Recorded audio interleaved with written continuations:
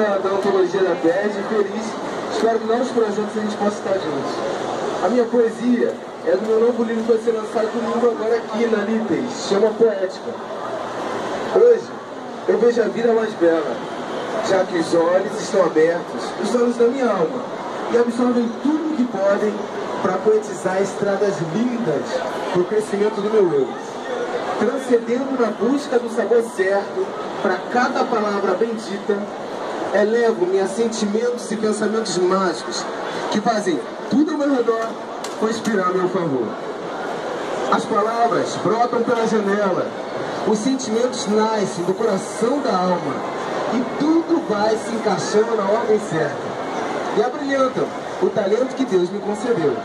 A vida é uma poesia linda, alva, encantadora, sonhadora, motivadora.